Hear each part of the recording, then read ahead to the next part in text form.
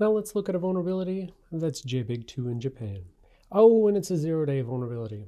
So this was written up by Citizen Lab and it was found on a Saudi activist's phone and it is attributed to NSO Group, which makes exploitation tools that they sell to governments and law enforcement agencies.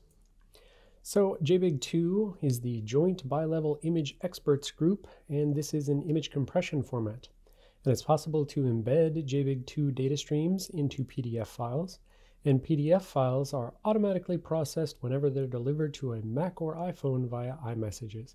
And that should, of course, make you go, eee, because PDFs are extremely complicated things that have a long and rich history of being used as exploitation vector.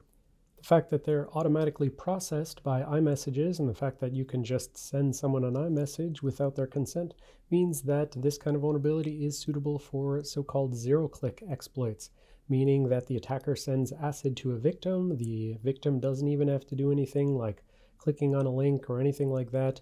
They're just automatically, the, the code in the background is just automatically uh, consuming the acid and potentially being exploited.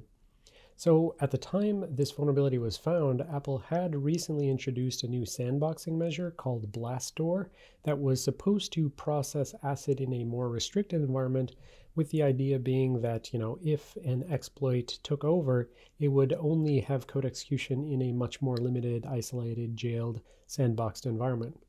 But it turned out that PDF files were not actually sandboxed at the time that this was found. Wah wah. So words of power and words of destruction, we can already see from that brief description that we're going to have some parsing of things like PDFs. We're going to have some decompressing of things like JBIG2 streams.